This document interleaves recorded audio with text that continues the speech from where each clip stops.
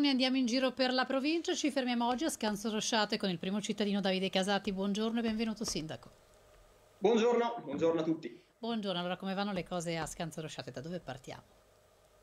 Vanno bene, nel limite del possibile, stiamo attivando numerosi servizi con questo inizio dell'anno, in più siamo riusciti a sostenere, o meglio lo faremo tra pochi giorni, le famiglie più bisognose con l'erogazione di buoni spesa a circa 80 famiglie e in più un bando a fondo perduto per i commercianti e gli artigiani che maggiormente hanno sofferto con le chiusure che riceveranno durante il mese di febbraio dei contributi a fondo perduto dai 500 euro fino ai 1500 euro. Quindi stiamo analizzando tutte le domande pervenute e in queste settimane verranno erogati anche questi contributi quindi vicinanza a chi sta soffrendo di più in particolare. Quindi sostegno al territorio è la priorità, certo è che è anche un momento nel quale bisogna investire un po' i soldi che sono arrivati durante l'emergenza Covid e allora insomma quali sono i cantieri aperti? Partirà entro il mese di marzo un cantiere importante di 500.000 euro ottenuti tramite un finanziamento regionale. Realizzeremo a Negrone, nella frazione baricentrica del nostro comune, una rotatoria attesa da molti anni per mettere in sicurezza un incrocio e rendere via Brenta a senso unico con marciapiede. Questo è sicuramente l'investimento più grosso che a breve partirà. Una seconda cosa molto importante che richiederà molto più tempo è il collegamento eh, pedonale con un marciapiede in sicurezza che collegherà Negrone a Tribulina. Su questo è molto più complesso perché è un'opera di oltre un milione di euro e che coinvolge anche un privato e quindi su questo stiamo progettando, abbiamo vinto un bando dello Stato per finanziare almeno il progetto dettagliato e poi dovremo essere bravi a recuperare le risorse per fare anche questo importante cantiere. E poi c'è anche qualcosa per gli anziani, no? avete pensato anche di aumentare la, dire, il sostegno a favore degli anziani?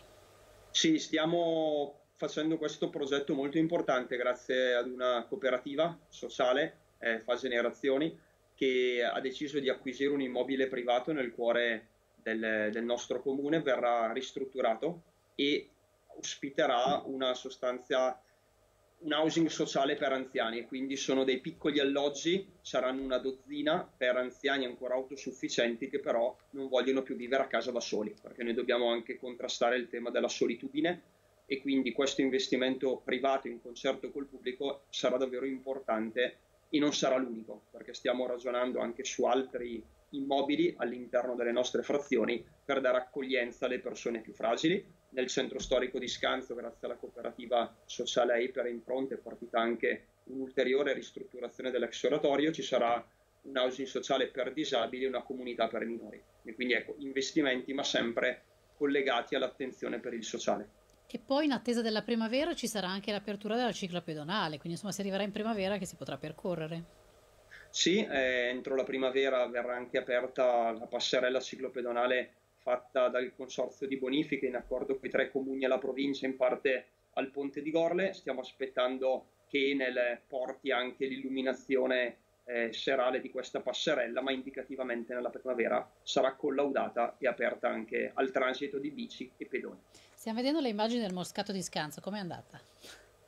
È andata bene a livello di, di produzione, eh, i produttori sono contenti, però ovviamente anche le aziende agricole a causa pandemia stanno soffrendo la vendita dei loro prodotti perché tutto il mondo della ristorazione è fermo e quindi anticipo che stiamo valutando un bando anche qui con dei contributi a fondo perduto per le aziende agricole per sostenerle in questo periodo un po' particolare.